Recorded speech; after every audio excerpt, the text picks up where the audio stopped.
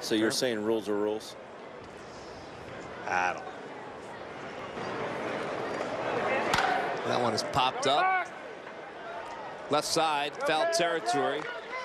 Heading over is Valentine to make the catch. For second out, and that'll bring up Niko Goodrum.